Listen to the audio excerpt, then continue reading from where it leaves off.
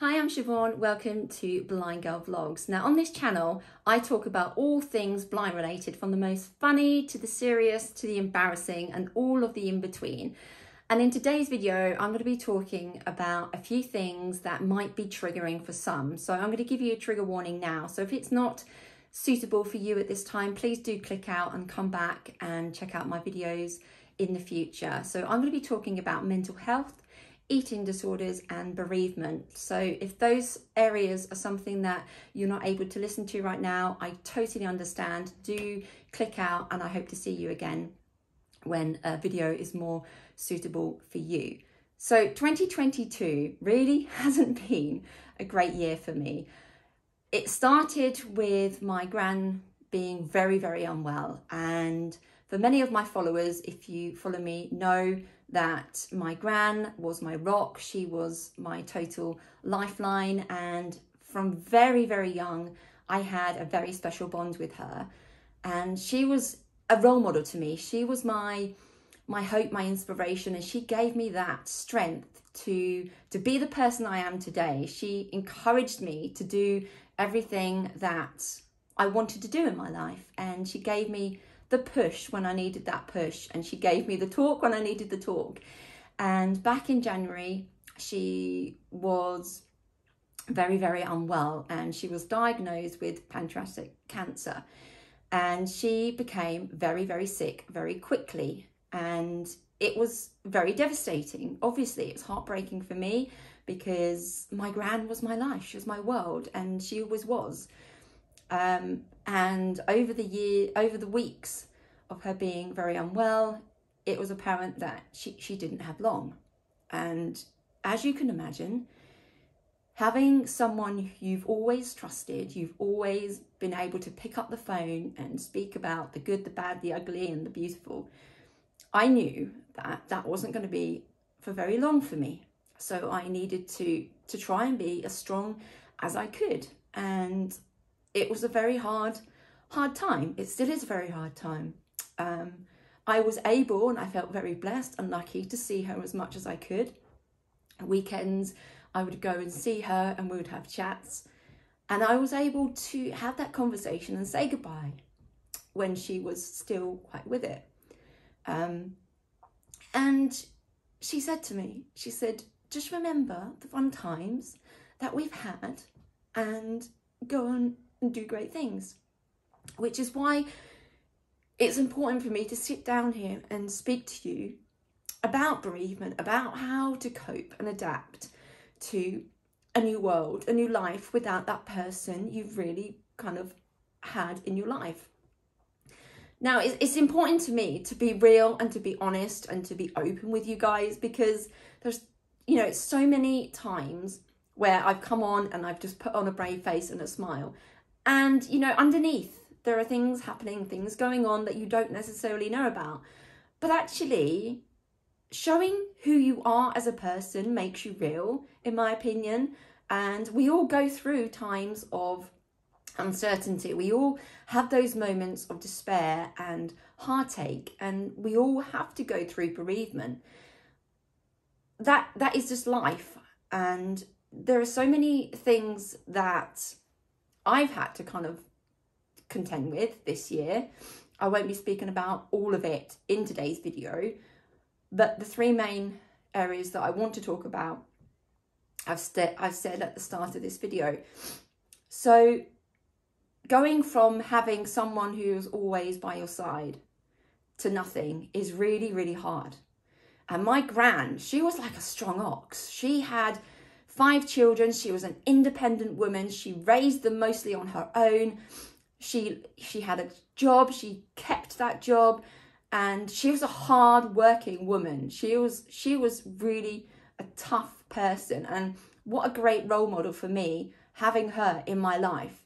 And she always encouraged me to be the best version of myself and to go on and do things that I want to do regardless of my disability regardless of my impairment she said, You put your mind to it, you can achieve it. And this is why I'm here sitting to you today talking about how I'm hopefully kind of turning what has been a heartbreaking situation into something where I feel like she's going to be proud. She's going to be proud of what what I'm doing. You know, she's she's there with me. Whatever you believe, whatever spiritual things you believe or not, you know, you you know in your heart what what you feel and what you think. And I know that she's with me. And having having that is a is a huge relief for me knowing that she's there in whatever form.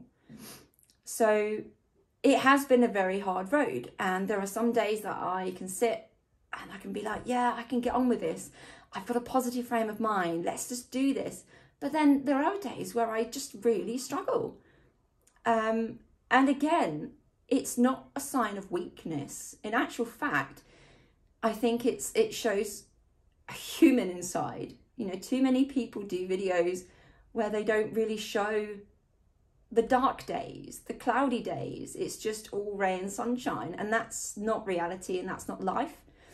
So I wanted really to, to come on and talk about bereavement and how how hard it's been for me, but actually doing a lot of research online of, of strategies how to cope is a really good source of of a lifeline for me. Um, and being able to maybe speak to someone who can understand bereavement or who can give you coping mechanisms or strategies because everyone is different, not one size fits all. And I'm not going to say uh, going online, doing a little bit of reading or opening your heart to, to someone who can maybe give you those systems of coping um, is a it's not always going to be for you so you're going to you know you're going to have to do your own research of, of what actually is going to be beneficial to you and your own circumstance because everyone is different. So in terms of grief, we all go things all go through things differently and bereavement is is a tough one.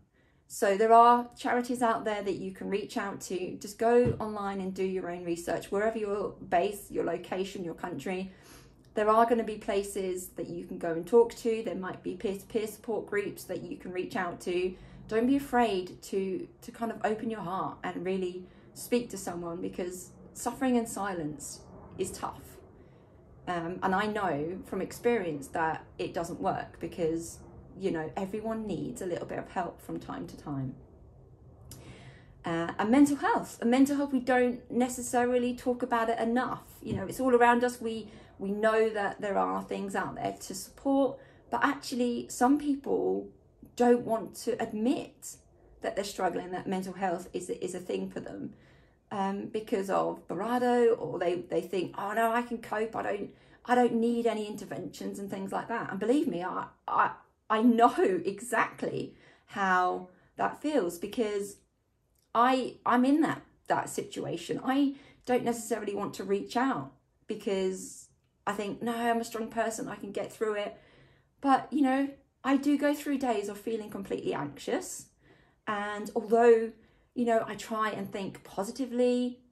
I can't always change the way I feel, and that's not a bad thing. So in terms of mental health, do do be open, do speak to your physician, do look at what charities and organizations are out there in your own location or your your country where you're based.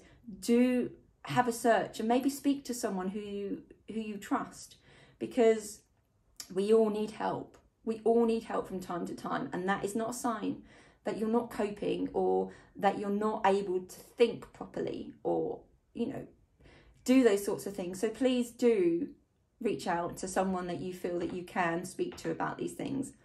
And and don't hide away because that's not going to to be beneficial for you moving forward. That's not going to help your situation. And I'm a fine one to talk because I don't necessarily want to reach out to the right people. You've got to be ready for it as well, and you've got to kind of think in your mind, actually, I can I can do this. Let's just go and talk. And from talking, there are actions you can do, and it's an amazing feeling when you've ah, when you've done that because you feel like you've achieved something, even if it's something very small. So don't feel alone. Don't put too much pressure on yourself because we are in a world where there is always so much pressure. But just know, just be yourself and know that there are many people in the world who are going through similar sorts of things and mental health is a big one so don't don't be afraid to to reach out uh, and admit that you're struggling now the third area that i wanted to talk about and i won't dive too deeply into to this video because i think it's quite a complex thing eating disorders so for me i've always had disordered eating i struggled for very many years with eating uh, this could be eating too much or not eating enough. So I, there's never been one set thing for me. I've never had one or the other. I've always been either end of the spectrum, eating too much or not eating at all. And this is an area that I think is is something that I've never really dived too deeply onto the channel, if at all, actually. I don't think I have. And recently, I've been struggling I've been struggling to to eat anything and it's something that I, I know is happening to me and it's recognizing those signs. It's recognizing, okay, so here I am again. I need to maybe reach out to someone to su- support me. Now, I went through before the pandemic, I went through a program to, to an eating disorder specialist, psychologist, to, to be able to support in what it is about food that was worrying me. Where where am I needing to focus my time and attention? What is it about food that scares me? Um, and I I think it all kind of boiled down to I was always the taller child at school. I was always the broader child, and also having a visual impairment, I could never really see my my own image in the mirror. I could never really appreciate my own body. I was always wanting something different. And I could only feel what I what I was like. I could never really appreciate me for me and I had a very distorted image of what I thought I looked like. And it probably really stemmed a lot from that. And it was it was something that I kind of let, never really dived into and never really kind of thought about too much. And it was only when I was going through this program, this with this eating disorder specialist, she was actually kind of diving into some really deep areas of my own psyche. And it kind of came back out that it, it probably was a lot to do with my vision and not being able to really appreciate myself for who I was. I thought I was fat and I probably wasn't. Um, and it it kind of stuck with me ever since. So I would eat a lot, and then I wouldn't eat anything. So it was a constant yo yo of those feelings of disordered eating. And I've never really got really to the bottom of of why, but over the last month or so, I've not really eaten, and it's it's probably affected me more than it did when I when I went and had you know this support from the program a couple of years ago, maybe three four years ago. Um, and just not not eating is i know i know it's not good. Of course it's not good. But it was i suppose in a way for me a way of coping with my own personal situation my own life circumstances what's happening the, my grand dying uh, and, and lots of other things going on in my life and it was a way of me just coping with everything that's going on and that was the only way that I could control stuff that was happening in my life. And through not eating, I think other things are going on. You know, things I'm not thinking clearly. I'm I haven't got a, a lot of energy. I'm I'm struggling. You know, with a lot of other things. So it has a huge knock-on effect. Not doing what I what I should be doing, and obviously over exercising, going to the gym doing my run of three miles a day, really pushing myself, and actually not having any food is probably not a great thing. And again, here I am being totally real to you guys because I think it's I think it's such an important area to talk about. Um, and and my whole kind of thinking around eating disorder and and having anorexia is is something that I've not really spoken about. And a lot of people like, well, you don't look anorexic. No, but that that again is it shows a lack of knowledge and understanding because although someone might not be perceived in in what anorexia it shows it doesn't mean that they don't have that condition. You don't have to be skin and bone frankly to look uh, to, to be anorexic. You there are lots of other factors surrounding that. So although i might not look that i i have been diagnosed with that because of the way that you know I think and I feel and my eating habits and stuff like that is you know ticks all of the boxes of anorexia for, for me at this moment. So I I haven't uh, reached out to any of the uh, support groups for anorexia. And I think that's a decision that I should be able to make as and when I feel I need to.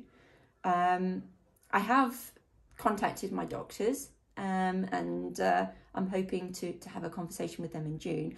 But what I'm really trying to get at is it, it's not always sunshine and roses in my life, um, and I just wanted to come and do a chit chat about all of the things that I've kind of been thinking about and what's been happening with me over the last five years in 2022. Hoping that this year kind of like starts to pick up for me a bit. Um, I think once I've spoken to my doctors and, and got the help that I need, things might move back to some sort of normality for me because right now your girl is going through it. So it's uh, it, it's a it's a tough one. And um, if anyone has any ideas or suggestions or groups that they think that would be really helpful, please put them in the comments below because I, you know, I know that you guys have got so much so much knowledge in there that you can share. So please do share anything that you feel would be useful to me. Um, even if there's any like blogs or vlogs or people that I could kind of listen to or reach out to, that would be so helpful, whether it's on bereavement, mental health, or eating disorders. It would just be so, so helpful. And on that note, guys, I'm going to love you and leave you for now. But be rest assured, there will be a much more positive video coming very shortly. Stay tuned, subscribe if you haven't already. And just remember, I love you guys and thank you so much for all of your continued support. It does mean the world to me. So take care and stay safe. And hopefully, I'm going to end this video. Bye, guys.